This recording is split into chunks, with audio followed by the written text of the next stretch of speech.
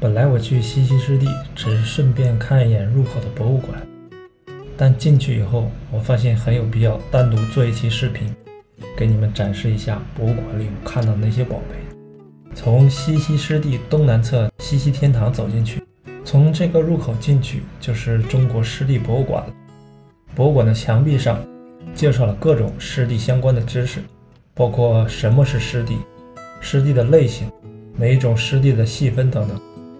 之后你会看到一个半米长的这个大车区，接下来是各种前所未见的珊瑚，像羊肚菌一样的枝芽鹿角珊瑚，像大脑沟壑一样的鹰针叶珊瑚，像长满鹿茸的苍珊瑚，红红一大坨的生珊瑚，像缠满线圈的中华扁脑珊瑚，像灵芝一样的小帽状珊瑚。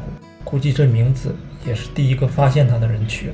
如果是我先发现的，现在它就叫灵芝珊瑚了。其实玻璃罩里还有很多我没展示的品种，还是建议大家亲自来看一次。右边是各种稀奇古怪、形状怪异的海螺。每次在网上看到有人烹饪大海螺，我都会在下面评论：能不能把壳卖给我呀？所以看到眼前的这些海螺壳，真的好想拥有它们。再往后是各种螃蟹。从我们平时见到的小螃蟹，到一米多长的大螃蟹，总共有几十种。最大的那一种叫做干式巨螯蟹，是世界上最大的甲壳动物。再往后是各类海胆。万万没想到，海胆不只有圆形，还有这种、这种、这种。世界真是奇妙。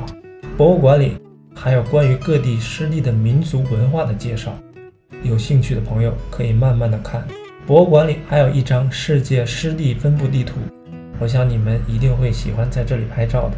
下一期视频，我们一起走进西溪湿地的内部去看一看。